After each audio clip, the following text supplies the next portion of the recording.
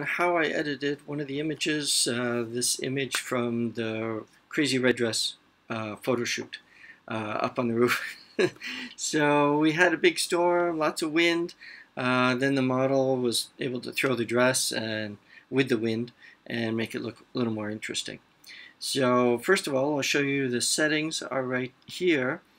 So it's 1 60th of a second 20 f22, 14 millimeter. Uh, ISO is 1000. The reason I do 1000 is to capture some of the shadows. Um, you can bring that all the way down if you want to. Uh, I like f22, capture everything. I, you can bring that down. You can do anything you want uh, to change it, but this is what I chose. Um, I chose these settings because I have years of experience as a wedding photographer. And as a wedding photographer, I don't have the luxury of a team. Um, I don't have a luxury of a lot of time, a lot of space. Uh, you have to be mobile. There's a wedding party. They're drunk. They're whatever. They gotta get the photo. Gotta get it quick. So you do what you can do. And so I learned on camera flash um, how to do it quick. And one of the things that I found was 222s. So ISO 200, uh, IS um, exposure 200, and f22. Uh, that seemed to work. And then just do slight adjustments. Now, as for your flash, put it on as bright as you can. Whatever setting that is, do that.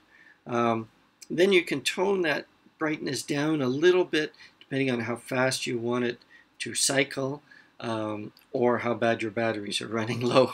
So, because if you've just been shooting quite a bit, um, watch your batteries. Anyways, so here we are at this image.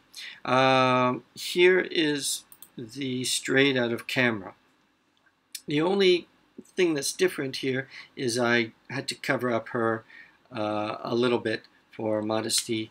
Uh, what happened is the dress did open up. She has covers on, so everything is hidden, but just for modesty, I want to, that's the only thing I did. Um, but here is the photo.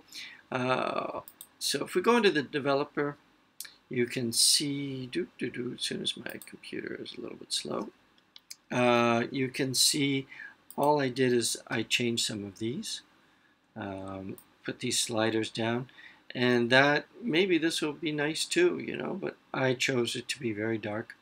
Um, and these clouds are all natural, they were always there, uh, but I just wanted to bring them out.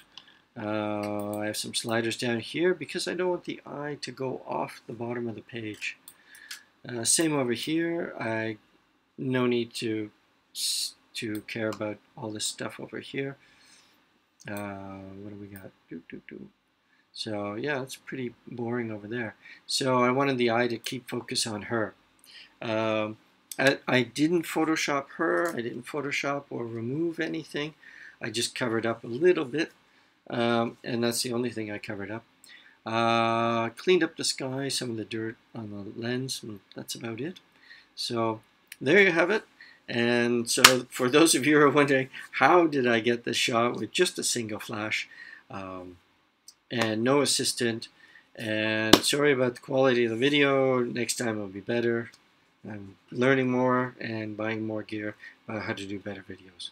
So thanks for all. Talk to you later. Bye-bye.